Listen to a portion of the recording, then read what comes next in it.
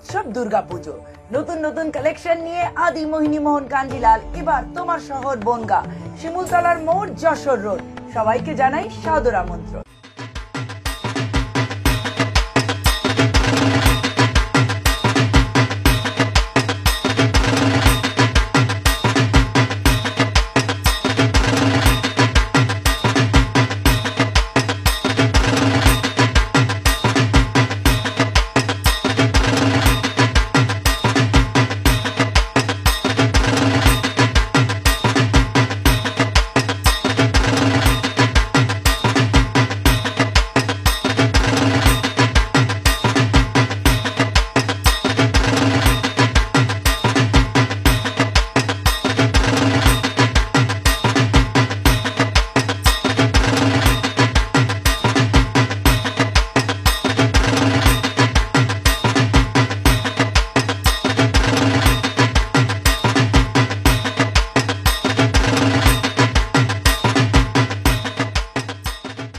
ছাপ্পান্ন বছরে পদার্পণ করল।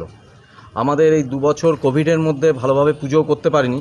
এবছর আমরা যে মণ্ডপটা করছি, এটা হচ্ছে রাজস্থানের আজমের দুর্গা মণ্ডপের আদলে করছি। মানুষকে বার্তা দেওয়া বলতে কি বলব?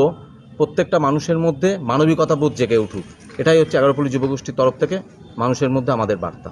ব্যস্ততা পুরো তুঙ্গে, আর মাত্র দুটো সপ্তাহ আছে মায়ের পুজো শুরু হতে। এখন এই মুহূর্তে আমাদের ব্যস্ততা তুঙ্গেই রয়েছে। সারাদিন কাজ হচ্ছে, রাতেও আমাদের নাইটেও কাজ হচ্ছে। একটা আমাদের যেটা সামর্থ্য, এগারোপল্লী যুবগোষ্ঠী খুব যে বড় আয়োজন করে পুজো আর্চা করতে পারি তা না, তবে একেবারে খুব ছোটও হয় না।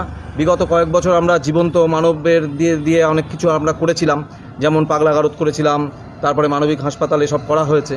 যাই হোক, এখন এবছরেও যে একটা মণ্ডপটা করছি সে মঞ্জ- মণ্ডপটা একটা নতুনত্বের ছোঁয়া তো রাখবেই। আশা করি বনগাবাসী এবং বনগার বাইরে থেকে যারা আসেন বনগার পুজো দেখতে প্রত্যেকে আমরা একটা উপহার দিতে পারব নতুন কিছু।